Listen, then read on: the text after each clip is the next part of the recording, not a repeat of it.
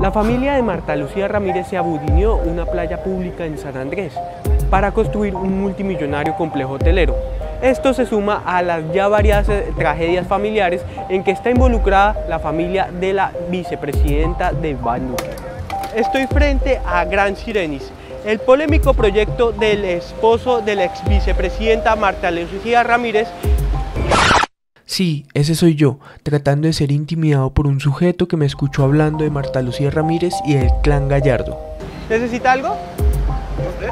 ¿No? Pues pregunto. Es que me gusta verlo. Soy enamorado. Sí, bueno. Aquí tengo un enamorado. Mírenlo. Ellos van a ser millonarios. Usted va a quedarse cobrando quincenas toda la vida. Este proyecto lo acompaña en la Alianza Fiduciaria y el Clan Gallardo, una de las familias más poderosas de San Andrés. El proyecto Gran Sirenis obtuvo la licencia de construcción de manera irregular, además sobrepasó los límites de altura permitidos. Una de las torres tiene cinco pisos por encima de lo permitido. El problema es que esta irregularidad tampoco se subsanó con áreas de compensación para la población.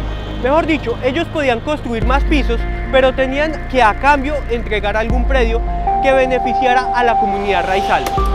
Lo más indignante es que Hitos Urbanos decide hacer la compensación arreglando la playa que está frente del apartamento de Marta Lucía Ramírez, su esposo y otros socios de Hitos Urbanos.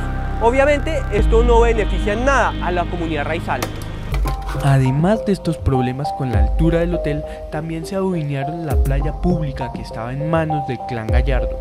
En 1983, el señor Adalberto Gallardo, como cualquier tierrero, se apropió con una leguleyada de la playa, pero en 1992 la sentencia T605 de la Corte Constitucional estipuló que las playas marítimas son bienes de uso público no susceptibles a apropiación por particulares.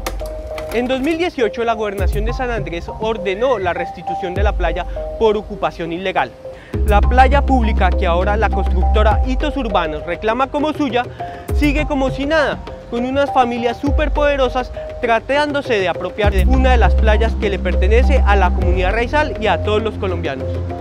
Pero este no es el único caso de robo de terrenos públicos en el que está involucrada Hitos Urbanos y Marta Lucía Ramírez.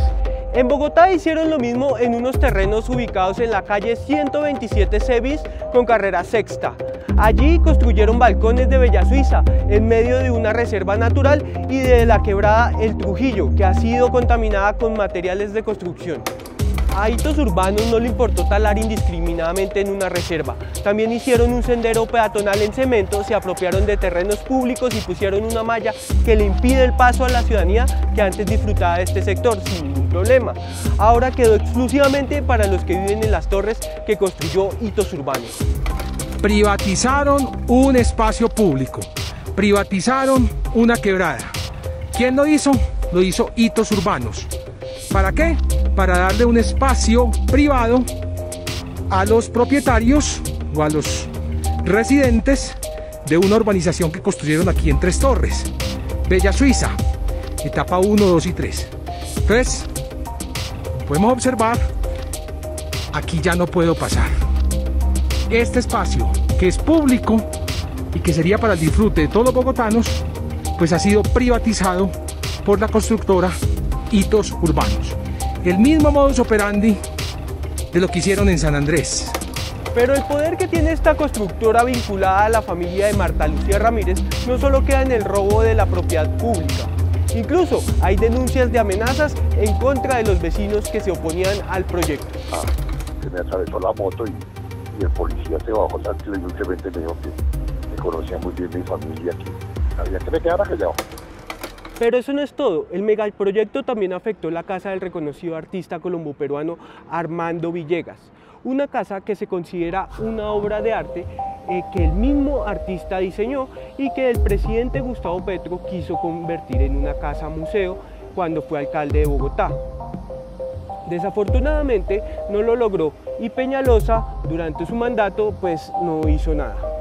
Aunque Marta Lucía Ramírez ya no es la vicepresidenta y el uribismo salió del poder, su familia sigue siendo muy poderosa en el país y siguen haciendo lo que se les da la gana desde San Andrés hasta Bogotá.